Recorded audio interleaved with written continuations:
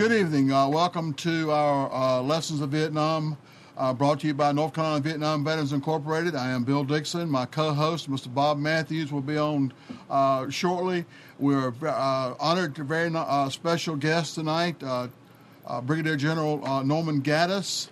part of our POW series, we've had some great stories and so forth, and you're looking forward, I hope, tonight for some more great stories. Uh, General Gaddis was uh, born in Dandridge, Tennessee. He enlisted in the United States Army Air Corps in October of 1942.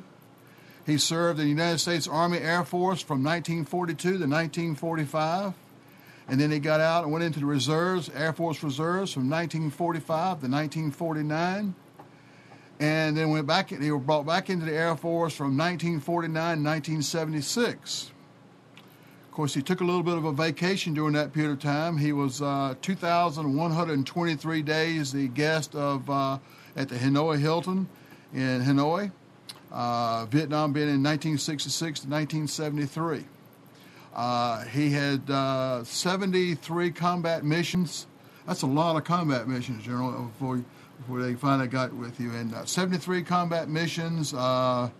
before he got shot down, he was. Um, uh, flying along with uh, some bombers, I, I, guess doing escort duty or escorting some fighters into Hanoi. Oh, okay. And uh, they were hit by uh, shrapnel from uh, uh, probably from a missile that blew up. His navigator sitting in the back seat, James Jefferson. ejected before he did, and then he ejected, uh, and when he landed, uh, General Gaddis landed. Uh, he had a welcome committee uh, of uh, North Vietnamese there to pick him up, and just a short time later, he was at the Hanoi Hilton. Uh, that that's a little bit of background I wanted to give you. what we'd like for you to do is call in at 919-518-9773 and ask the general some questions, make some comments or whatever you'd like to talk about. We're willing to talk about it as long as it's Vietnam oriented. Uh, call in again 919-518-9773 to lessons of vietnam and talk with us uh, general I, in my notes here i said with the season when you retired you had 4300 hours flying time that's a lot of time in the air well that's that's quite a few hours uh, but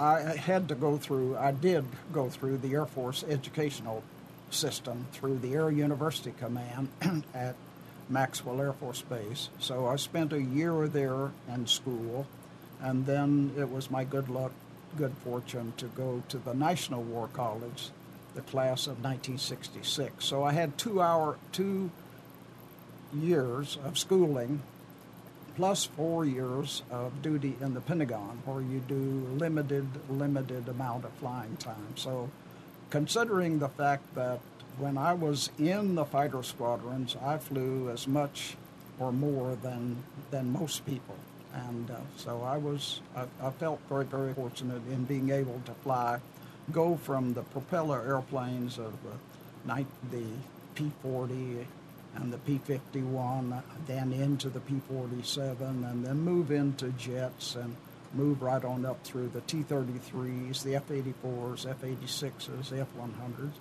and then eventually uh, ending up in the F-4 Phantom airplane. So uh, I was I was fortunate to be in a position to fly uh, whenever I wanted to, and uh, I took advantage of that every opportunity that I could. You also served in quite a few command uh, positions. Were you commanded the whole group, or? Well, yes, I was the director of operations for the Fighter Weapons School at Nellis Air Force Base. That was one of my uh, most enviable tours, I guess. And then I had an opportunity to, when I went to Vietnam, I went there realizing that at Cam Ranh Bay was one of the busiest airports in all of Vietnam. And the regular director of operations, Colonel McNeil, he and I were classmates and had been friends for many, many years. We worked out an arrangement whereby Colonel McNeil would be the operator, director of operations from 6 in the morning until 6 in the evening. I would be the operations officer from 6 o'clock in the evening until 6 o'clock in the morning. Uh, after I finished my tour of duty, then I could catch a bit of sleep and then go up and fly combat missions, and that's what, that's how I was able to to uh, complete 73 missions. Now, uh, out of the 73 missions, were you ever uh, hit in the process of uh, doing your combat missions before actually uh, knocked you out of the air? No, no. I was shot at many times, but fortunately, I was not hit mm-hmm. either by small arms fire when we were doing close air support work or the uh, anti aircraft guns out of, around Hanoi.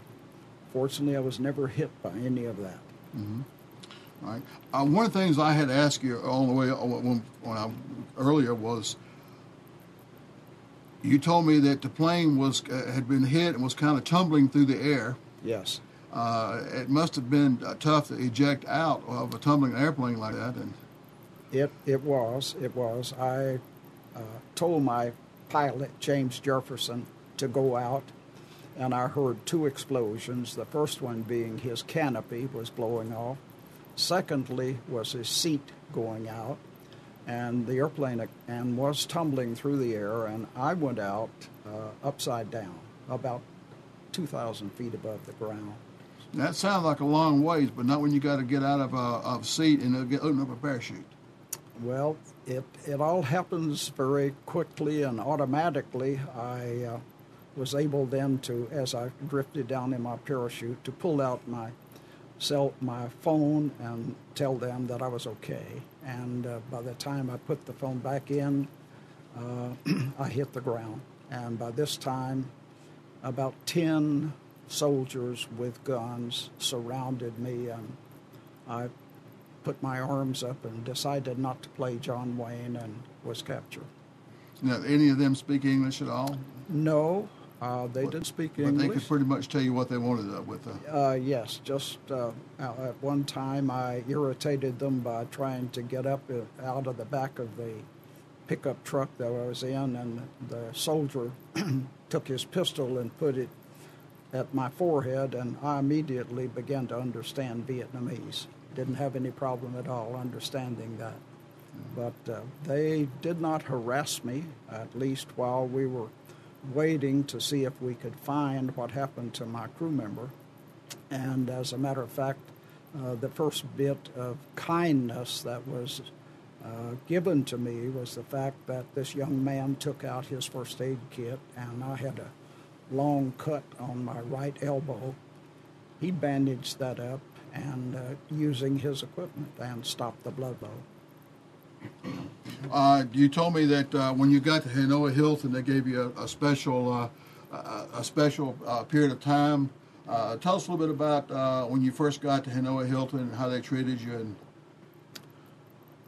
first went in and they stripped my flying suit off they had already taken my boots from me. They realized that American pilots had soft feet and they couldn't run on the hard rocks up there, so they took my shoes first and then my flying suit. And that left me with just an undershirt, a pair of shorts, and they placed me on a small stool, and three interrogators began to ply me with questions and ask me to give them information, and I told them that I could only give them my name, rank, serial number, and date of birth. And they became very much agitated and irritated because I would not give any more than that. And uh, they continued to, for the next hour, just to me with questions, and, and I told them that I could not answer the questions or I would not answer the questions. And that's when they began the torture process. You said it was like 64 hours of. The interrogation took place over a 64 hour period, and they would not let me sleep. They, when uh, they would stop their questioning, they would put me on a small stool, a very low stool, and uh, I would have to sit there. They threatened to kill me if I went to sleep, so uh, obviously I was not going to sleep. So it uh, when it all ended up, I listened to some church bells, or at least some bells up to the north of the prison that I could hear. And I then figured out that I'd been there 64 hours in, in the interrogation and was uh, without sleep. Uh, And then they put you in a, in a uh, cell by yourself uh, for how long? I was in the cell, it was seven feet square, had two concrete beds, and then just a small distance between the two concrete beds to walk up and down. And I was in that cell for a thousand and four consecutive days hmm. without seeing in, any other American. Well, I did see one American for about 10 seconds, and I remembered him as being one of my students going through the fighter weapons school.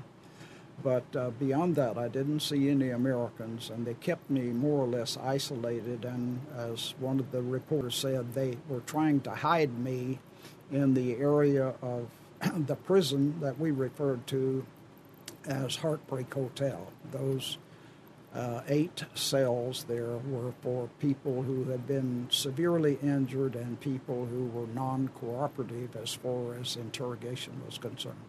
You were uh, you were one of the ranking officers, I believe, that wa was there.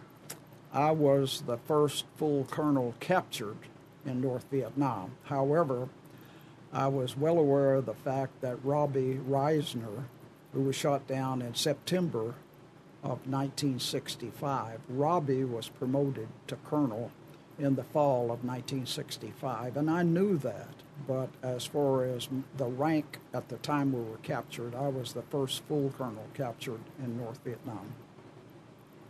And uh, uh, from everything I've read and so forth, that uh, everybody uh, reflects back that because of the uh, uh, chain of command that y'all established and kept going with Stockdale and them that started, and y'all kept it going, that that was one of the main things that kept uh, gave prisoners uh, the support and the strength to, to, to hold out and keep going on.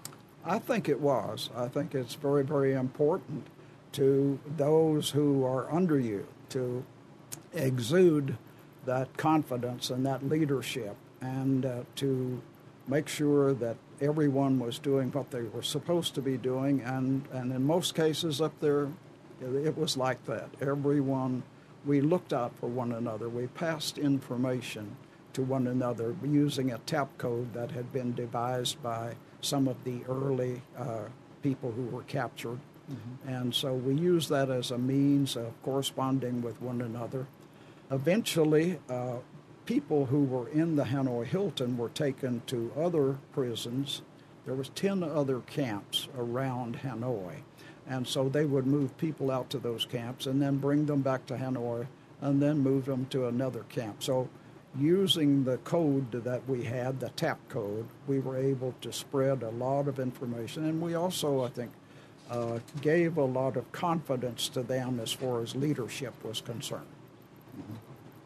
Right. Um, when you were you were there, uh, you- your wife you've lost your wife, but I I heard her speak one time that uh, you were a POW for about three years before she knew that whether you were alive alive or or anything about you. Yes, it was almost three years from the time I was captured until she received a letter.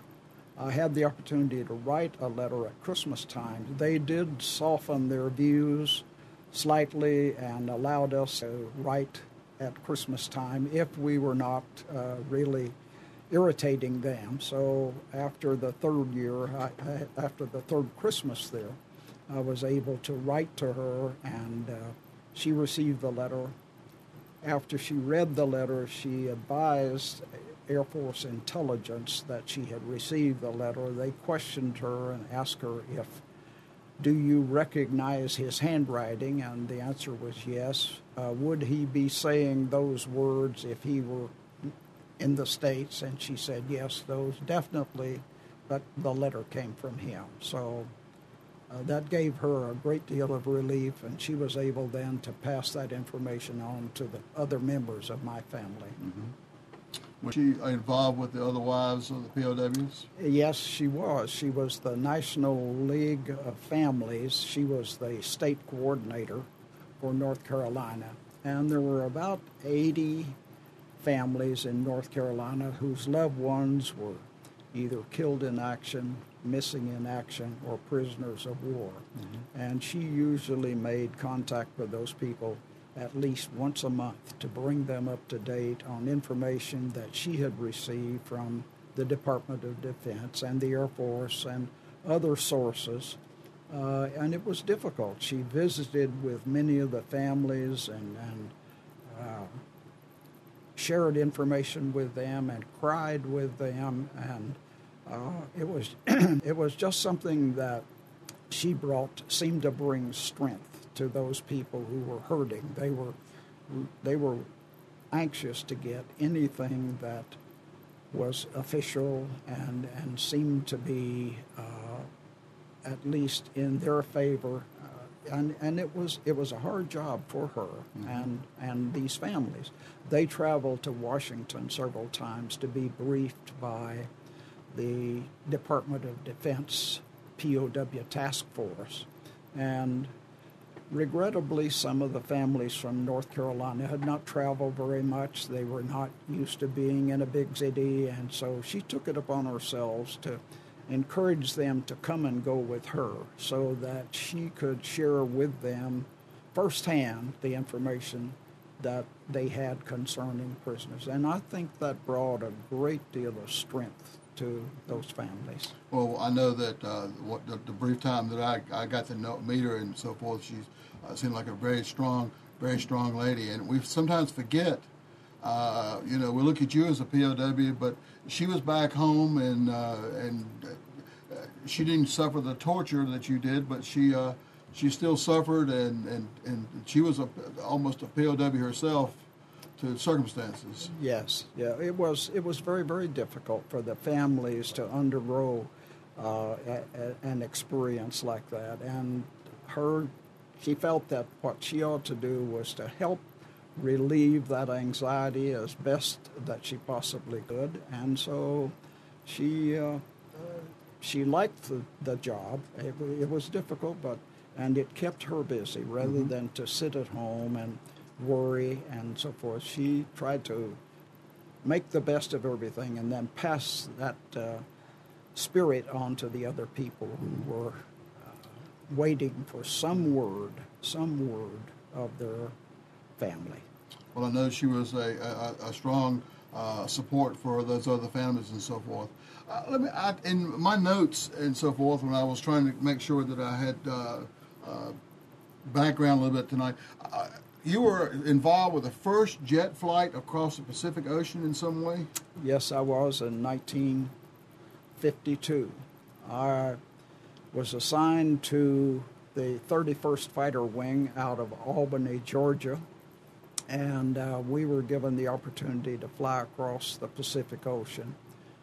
Colonel David Schilling was our wing commander, and at that time I was a captain, just a brand new captain and I had never done any air refueling.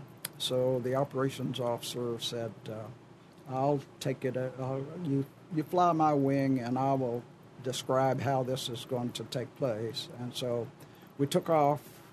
After we took off, he said, uh, "I have problems with my airplane. I have to go back." So I went up and taught myself how to do air-to-air refueling, and. Uh, and it worked out that uh, I, I didn't have any problem. I, I, I, did the hookups, and it was a nice day.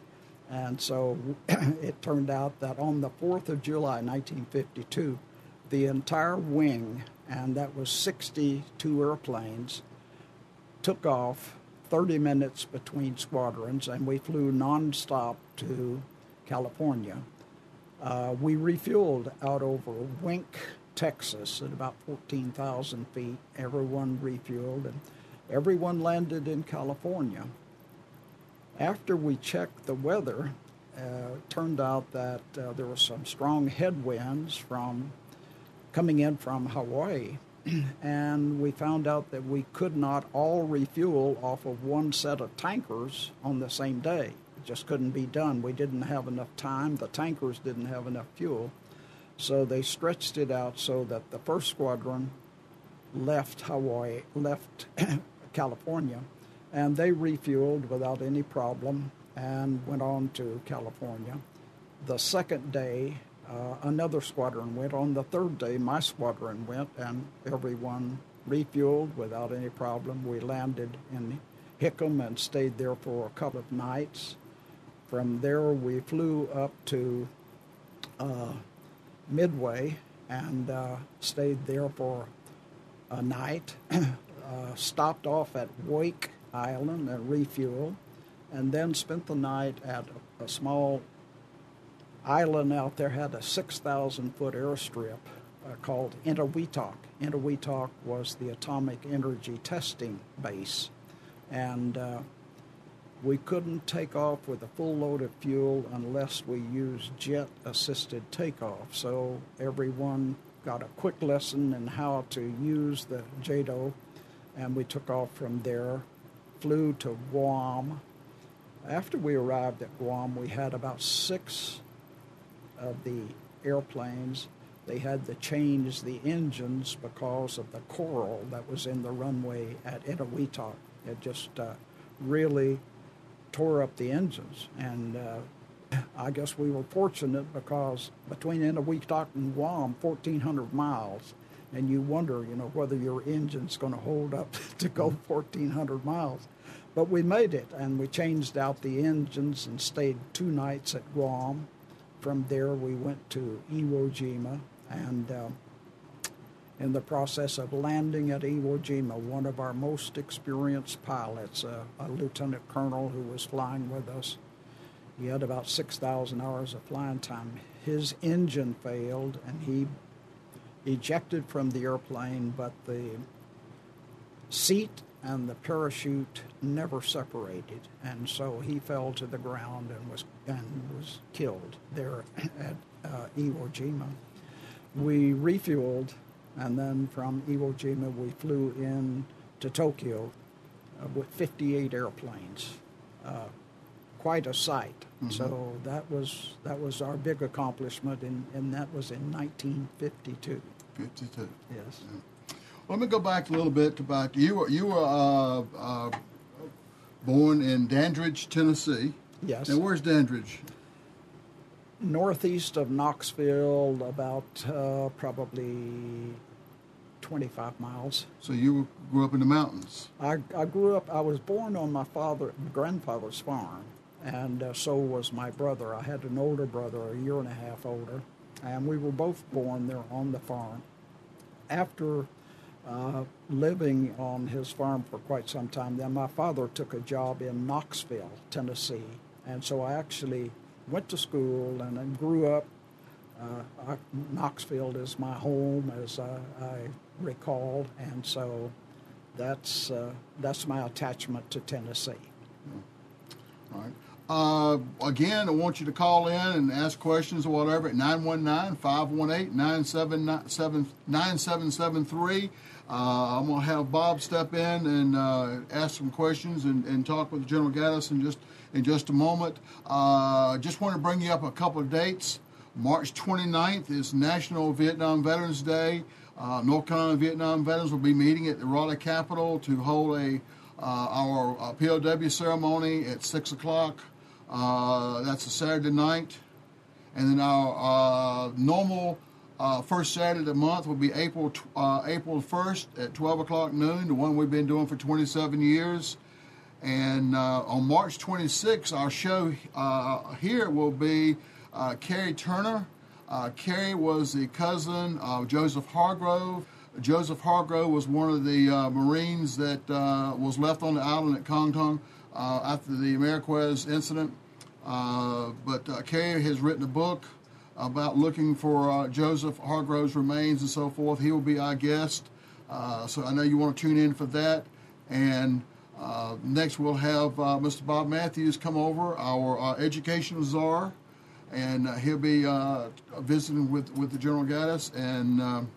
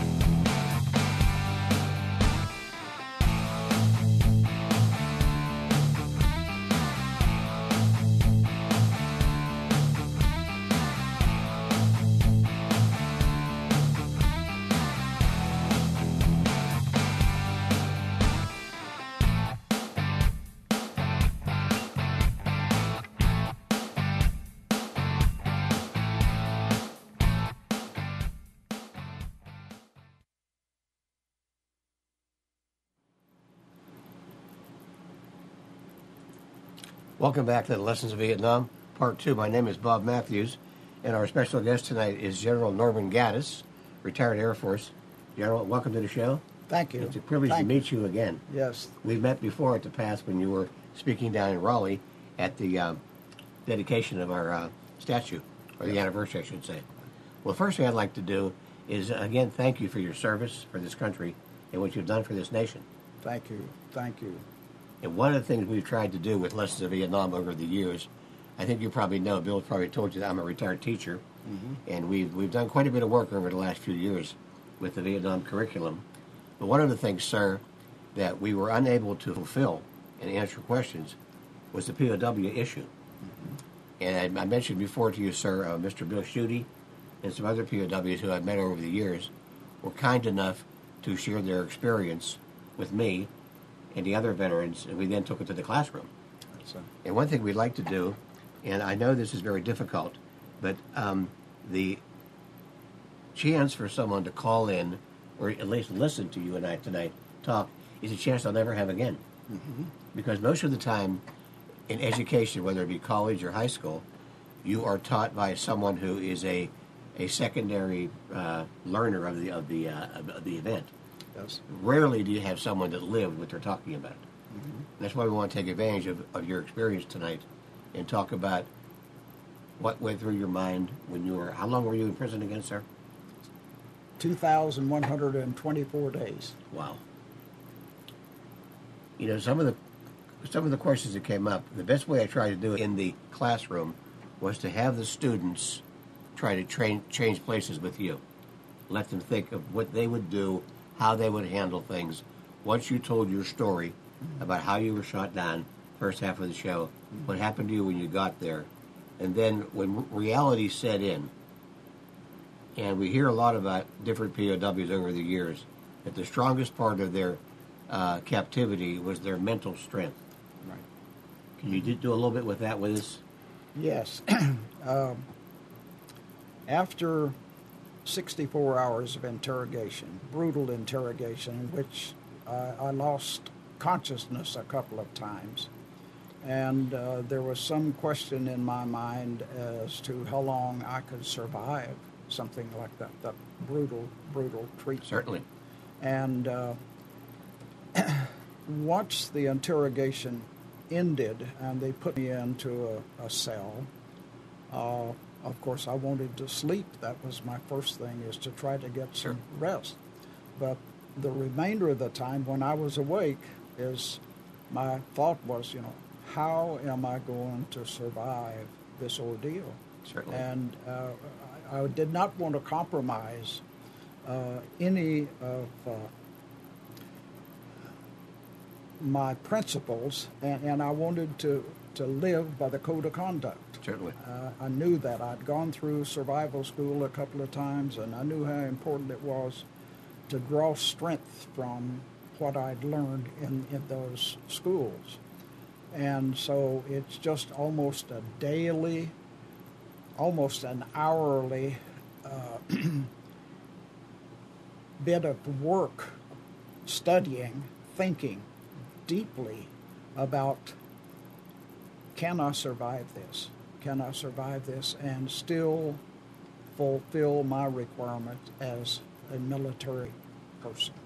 Well, well, sir, before today's show, I, I did a lot, not a lot of reading, but substantial reading on your background. And Bill has mentioned before uh, your long history in the service. And he's mentioned your your uh, your wife and your and, and your family. When you came home from Vietnam, what was it like coming home, and how were you received? Well, probably uh, from what I gather after talking to many Vietnam veterans, we were treated as heroes. And you should have been. And, and, well, I don't, I, I really don't consider myself as a hero. I, I, I went through some tough times, and there are other people who have also gone through tough times. But the main thing is that I wanted to come through with honor. I did not Certainly. want to bend in and give them information of any kind or to give them any indication that I had any feelings for what was going on in the war. I knew that they were losing a lot of people. I knew that they were just on the brink of, of disaster themselves. But I, other than the people who gave me first aid treatment on my arm and another young man who came in to visit with me and and he looked at my legs and, and he began to cry when he Wow. found out that uh, this was caused by the interrogation. I drew support from that, from the fact Sure. that that young man cried, that he was a, a decent human being.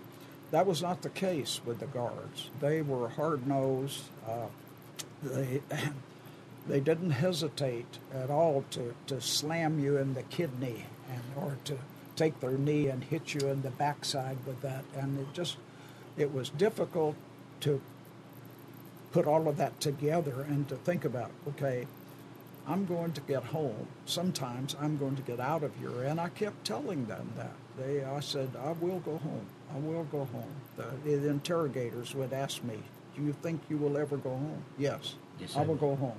And I will go home with honor. There you go. Yes. And that was it. Thank you. Thank you. Thank you. General, I know, as Bill mentioned, you were shot down with a young man named James Jefferson. Yes. And I, I read it in, in the bio that you were given uh, some uh, remnants of his uniform and a dog tag, so you kind of knew they had him, or he was somewhere in Vietnam. Yes. You both, su- you both survived the ejection. Yes. Yes. Now, later, when he, his remains were found and identified, Yes. he's on the wall, correct? Yes, he is on the wall. Yes, he is. Yes. Now, sir, have you had the opportunity to go to the wall and rub his name? Yes, I have. I have. And of course, I was fortunate when I came back to the States. I went to the hospital, Andrews Air Force Base up in Maryland, and mm-hmm. his family came during the time that I was being interrogated by our intelligence people. And so I took two days to sit and talk with his family and Wonderful. to give them every bit of information that I possibly could. And what I kept emphasizing to them was I saw his helmet, I saw his name tag, his name tag had been cut out, and I saw his clipboard. All of those items were clean. They were not bloody. They didn't have any oil. They didn't have any burn marks on them. So he got out of the airplane. It's, And- exactly. And, that, that's what I told him. He got out of the airplane. Now, what happened to him after that, I don't know. But uh, the POW task force working out of Hawaii, they went back to the rice paddy that we actually, the airplane actually crashed in okay. and they went there 10 times and dug and dug. Uh, the first thing they found was a tooth. And they sent the tooth to the laboratory in Hawaii, and the dentist took a look at his records and said that could be his tooth. I see. So, with that bit of information, the tooth was the first thing that was found. Then they went back and dug 10 times. This time they found human remains. And they sent those to Hawaii to the lab. They were analyzed, and DNA said those were his remains. Now, the family, his brother was a major general. Air Force. They were the first two brothers to graduate from the Air Force Academy. Wow. Yeah. It's Uh, amazing, isn't it? Yes, it is. But they're wonderful people. The family just wonderful. But they wanted, they asked the Air Force, do you mind if we have a commercial company do a DNA test? And so the Air Force said, fine.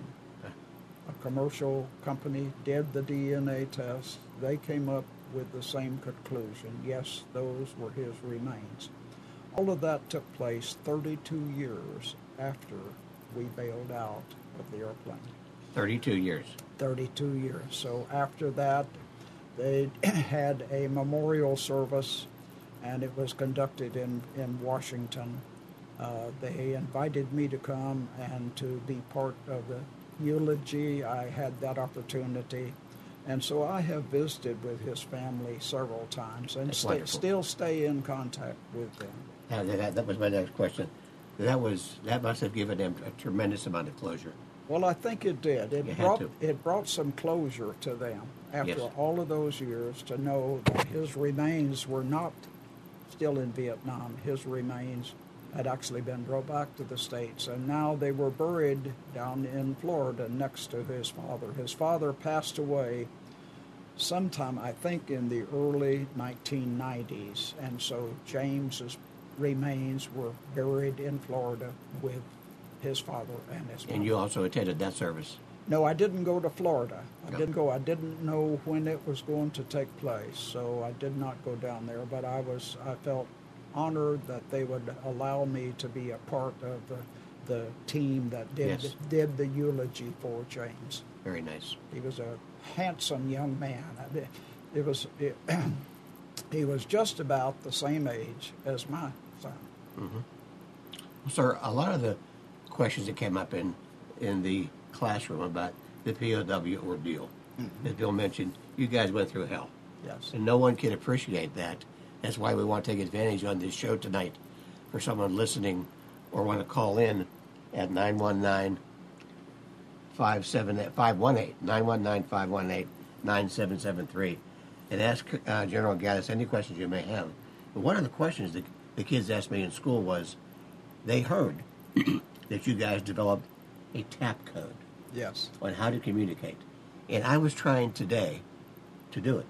Now I know it's a five five letter box or something. Yes. Would you mind giving us a brief synopsis of the tap code? Well, okay, the alphabet, we divided it into 25 instead of 26 letters. Twenty six letters, okay. So, so the letter K was not used. okay. So we'd use a C instead of a K. I got you. So you would tap this out. So you go across the top, visualize it, a chart A, B, C, D, E, First line. F, G, H, so forth.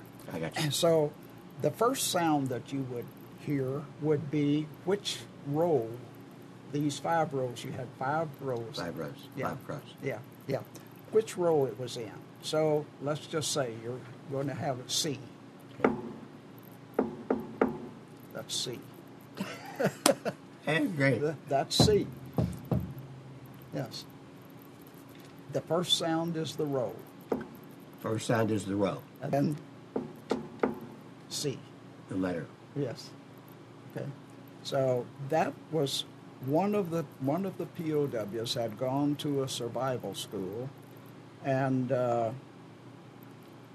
he had been taught that code.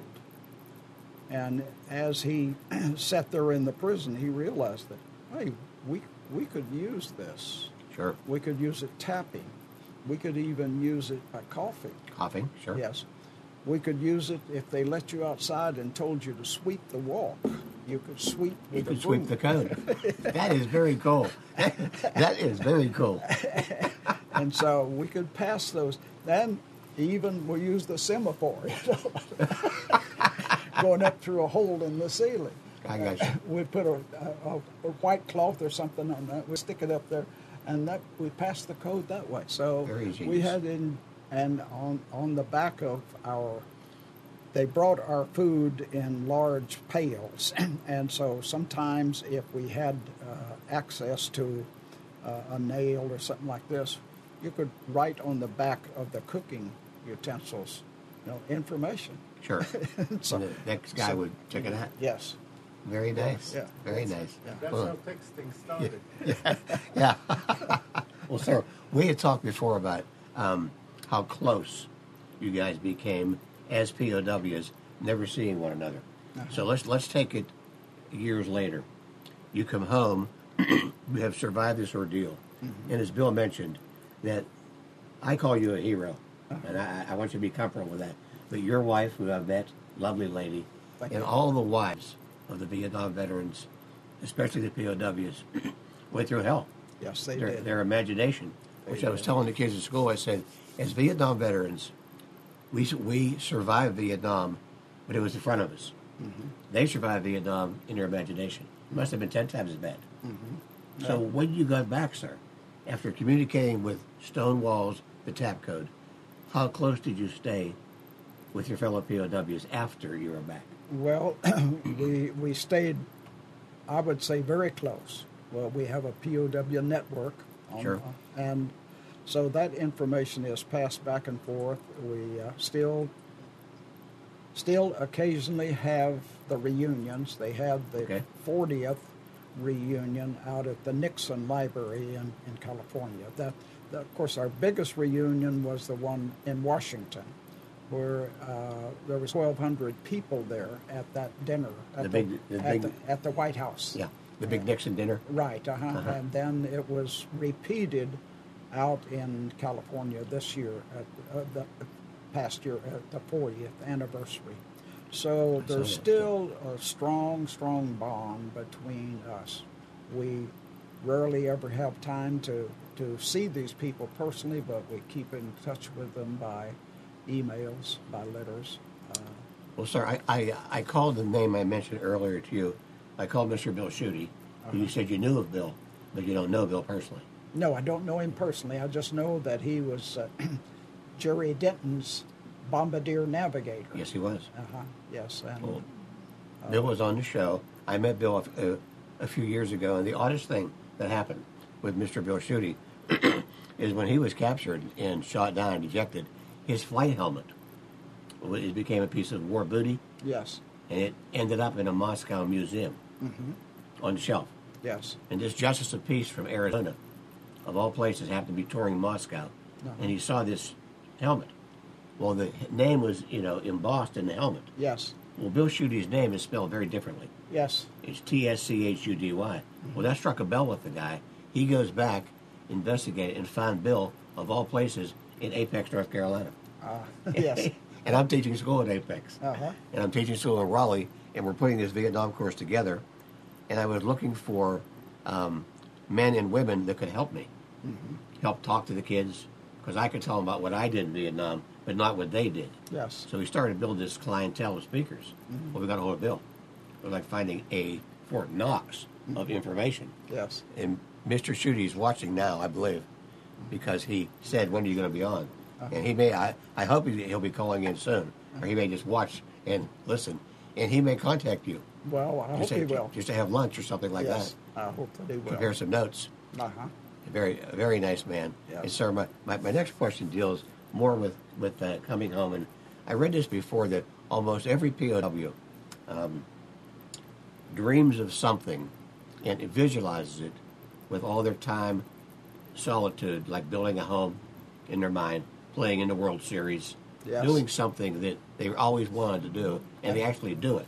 Yes. Did you have anything like this that you did? Yes, I did. Yeah, I built a home uh, in my mind. You built a home. Yes, and when I got home, I had my wife to sit down and I drew this out for her, and she said, "Hmm, you know, that's that's all well and good, but you, well, you're now said to, to go from from the living room to the kitchen, you have to go through." A formal dining room, so that's not a good idea. But Okay. uh, the rest of the house, I'll buy that. So, but yes, I visualize that. I I'd never been in construction work before, but I You built a I could visualize that, and, and we did together. We supervised the building of a, a wonderful home and lived there for 18 years until I moved to, to Durham. Uh huh. Yes, That's great. but it's just something to keep your mind busy, Sure. occupied, and we swapped those ideas among ourselves as we lived with different people. I was I guess, restricted more than other people. I only lived with eight other people. But uh, the uh, many of the people were sent out to these other outlying prisons sure. for, for a period of time, and then eventually, in I think it was 1972, they were taken to a new prison up near the China border.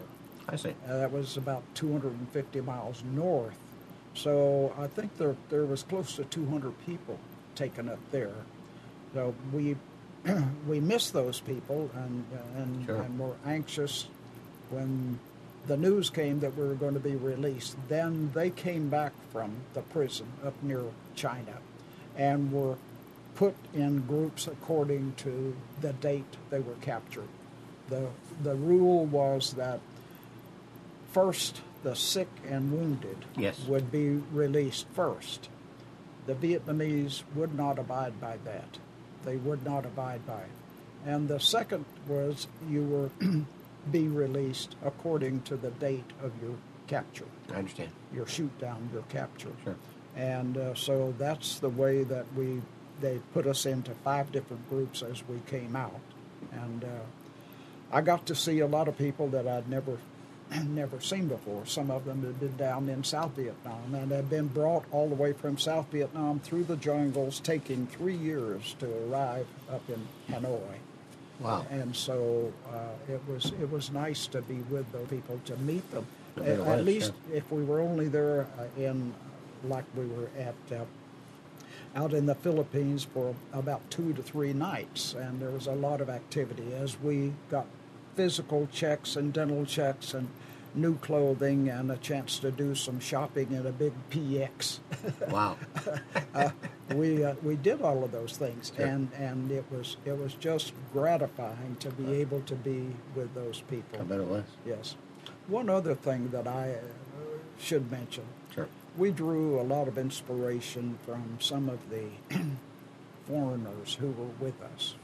There was three people from Thailand. They had been captured working with U.S. troops and U.S. forces, and in the cell next to mine in the Heartbreak Hotel was a young Vietnamese pilot, and I didn't realize for a long time that he could speak English. Wow. But he and I started a conversation, and then we got caught, and so he was he was tortured bitterly for Yeah. for doing that. Uh, but uh, we nicknamed him Max, and finally Mr. Ross Perot sent his team over to Saigon. This was after things quieted down. The troops, all of the POWs came back. Mr. Ross Perot sent a team over to Saigon. They located Max and his family and brought him to the States. Wow. That's a great story. Yes, uh But uh, when I asked him, "Do you speak English?" he said, "Yes." I said, "Where'd you learn English?" He said, "I went through flying school at Randolph Air Force Base in Texas." Oh, sir. Well, would you mind going over your? would you mind going over your plane with us? huh? Yes, yes, Okay. yes. You want me to tell you about this airplane? I would love you to. Yes, that that is an F-4 Phantom jet. We used those as uh, bombing airplanes. we carried different types of ordnance on them, but we also had to carry two fuel tanks out here. These are 375 gallon fuel tanks. And if we were going up into the Hanoi area, we carried a 600 gallon tank here. Wow. Then, in addition to that, we could carry three 750 pound bombs here, three 750 pound bombs there. So you drop the bombs, uh, you drop the centerline tank after we crossed the Black River going toward Hanoi. Everyone jettisoned those things, so there's enough aluminum up there that those people should make drinking cups for the next century. and uh, then we'd, we'd drop the ordnance when you were dropping ordnance, and we would drop the ordnance up there and then come back. Uh, that airplane was a, a real workhorse. It carried a tremendous load. Uh, two or three times I took off with the airplane grossing out at 60,000 pounds. That's just about maximum. The, the two engines on it with afterburners put out about 30,000 pounds of uh, thrust. So we could get off. It was, it was a workhorse for Sure. us coming out of both Thailand and Vietnam. It's one of, one of the most wonderful airplanes. And then the thrill of flying that airplane came after I went through combat crew training school. They took everything off the bottom except these missiles that are embedded in there, and they let us go up and do a maximum speed run with it. So, took off from Tampa, climbed out over the Gulf of Mexico, pointed the airplane toward Mexico, pushed the throttles up all the way forward and you 600 i mean 1625 miles an hour and then you'd see the you see the windscreen down here turn red that tells you to slow down You're smoking. you're smoking You're smoking. yeah you're smoking so Oh, slow boy. down That's amazing. it's a it's a wonderful airplane and it was a good working airplane for us in in vietnam Very good. yes Well, well, sir, I, I saved a, couple of tough questions for you. all right I can tell you, you have spoken a lot all over the country. yes Yes. Well, sir, looking back now, we're in a, little bit of a foreign policy dilemma now, as you well know. And there's a, a school of thought that I brought up with some other people. And if this question makes you uncomfortable, please don't answer it. all right What do you feel about trading POWs for POWs? Because we have a man who's pretty well known named Bowe Bergdahl. yes Is a um, on the news, everything. We think he's a prisoner of war in Afghanistan or Pakistan, and they want to trade some people from Gitmo and get him home. uh-huh How do you feel about trading of POWs?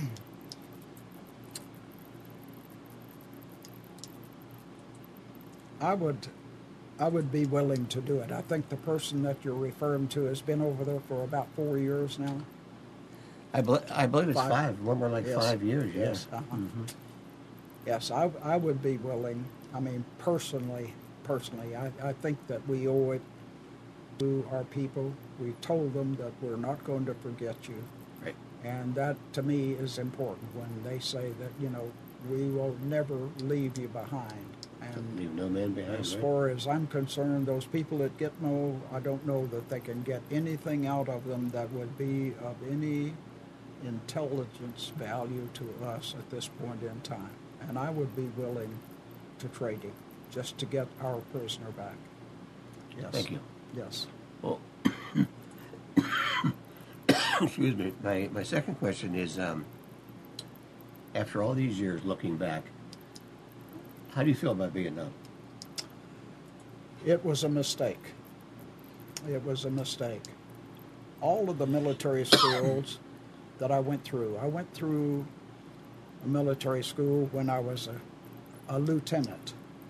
And I went through a military school when I was a major. I went through another military school when I was a full colonel. And my view on it is that we did not have the responsibility to go into Vietnam and try to reestablish French control over Vietnam. Interesting. We did not, and, and particularly after uh, the Dien Bien Phu, I think that took place in 1954. Yes, it did, sir. And when they lost a lot of, they had a lot of their officers captured. Well, I still don't think that we have the responsibility to go in and to fight a war. It bothers me that we lost 58,000 young American lives. We have at least 300,000 severely injured. Some of them will require medical attention the rest of their lives. Yes, sir. Yes, sir. And we spent a billion and a half dollars when a billion and a half dollars really amounted to something. It doesn't mean very much these days, but Right. a billion and a half dollars. And let, just let me share a story with you to, Sure. to tell you. I was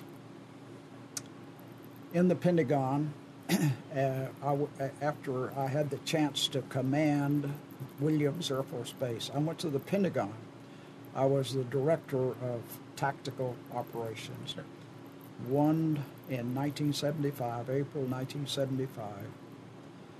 My boss, who was a three star, said, I want you to go to the National Command Center. There's a group down there, they're working to get Vietnamese, South Vietnamese people out of South Vietnam and to put them on air, uh, Navy vessels out in the South China Sea. There's about four to six thousand of these people. We rounded them up, and we want to get them there. You go over, and the operation is in progress right now. I went over very shortly. the Secretary of Defense came in he had been to a cocktail party, still had on his tie and so forth. He took his jacket off, took his tie off, sat down. This is Dr. Schlesinger. The four star commanders, they were all there. And uh, we had uh, secure, uh, secured phone lines over to the American Embassy in Saigon. I see. And at about 7 o'clock at night, I had a call from the duty officer at the White House, and he said, The president wants to know if Ambassador Martin has left Saigon yet. And I said, Well, we can find out in just a few minutes. And I talked to Saigon. They said Ambassador Martin is trying to help these people get on the helicopters. If you know, there's thousands of them, and, Yes. and we have ships out there. We're taking them out. So the operation continued, and we had secure lines that we could more or less tell what was happening. Coming, this these this information was coming out of the U.S. embassy in Saigon. Uh, probably at 11 o'clock, I had another call from the same duty officer in the White House, and he said the president would like to know if Ambassador Martin has left Saigon yet. And I said, I'll find out in just a minute. When I talked to them, they said Ambassador Martin has gone back to burn the American embassy. He does not want that information to get into anyone's hands. At about 2 o'clock, I had another call from the duty officer. Duty officer said, The president wants you to pass this information to Ambassador Martin. Tell him to get his butt on the next helicopter leaving Saigon. So I passed that You to passed the that I passed that to the deb- to the uh, officer over in in Saigon, never knowing that I'd ever see Ambassador Martin again. In the late 1980s, I was at a Presbyterian church, Winston Salem, for a service, and I looked over. Sitting next to me was Ambassador Martin. I touched him on the shoulder and I said, "Sir, I'm Norm Gaddis. I was the guy who told you to get your butt on the next helicopter." That's a great story. leaving Saigon. Well, it is a true story. Yes, it it is a true story, and uh, we we laughed about it, and uh, but you know it it still bothers me even today when I look at the paper and I read all of these young people that were sacrificing in now in Afghanistan. Uh, it bothers me. It bothers me very much. I believe that we need to have a different foreign policy. Very interesting, sir. With your background, I really appreciate your honesty. And Thank we, you. we have talked to a lot of Vietnam veterans, and with our group, part of our education was always going to the wall in D.C. Was part of teaching Vietnam was showing the supreme sacrifice. Yes. And when you go there, you talk to a lot of veterans, Yes. and they basically say the same thing mm-hmm. as you did, sir. Not as good as you did, but they say it wasn't worth it, but I would do it again. I would serve my country if they asked Oh me. yes. always. Yes. Yes. But Vietnam was a mistake, and let's learn from it. And I don't know if we have. I don't think we have. I don't think we have personally. I don't think we have. Well, sir, on, on behalf of the North Carolina Vietnam Veterans and the Bridgeback Foundation, we have uh, started to wear these last couple of years to commemorate the POWs, their struggle, until they all come home. All We'd right. like to present you with one of these as a gift from us tonight. Fine. Thank you. Thank you. You're more than welcome. Oh, and oh. uh, Norman Gaddis, General Gaddis. Yes. Sir, all these names. I'd like to thank you for being on the show tonight. I'm going to turn this over to Bill Dixon in a moment or two, but I have one, one last question. Yes. Okay. I don't have any more questions. Okay. I would, I would like to thank you, and I'd like you to let me email you or call you and give you contact information for Mr. Bill Schutte. Yes. And if you two decide to meet, Uh huh. Bill Dixon and I want to buy you lunch. okay. Is that okay? All right. Yes. So it's been a pleasure and an honor to meet you Fine. Thank you. and share with our audience. Certainly uh, an opportunity. Uh, I'm, I'm honored that you would ask me to come and be a part of this. Thank you very much. Yes. Good evening.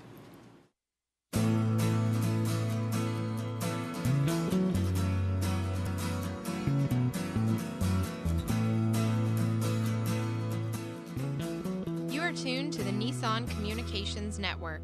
Our weekly lineup of call in programs includes Computers 2K Now with Amnon Nissan, Health In with Debbie Bruck, Breaking Free with Marilyn Shannon, Lessons of Vietnam with NCVVI members, The Tanya Love Show, Reawaken Your Brilliance with Julie Seibert, and if you tuned in too late, you can always watch each program in its entirety or download an MP3 audio file of it at www.nissancommunications.com.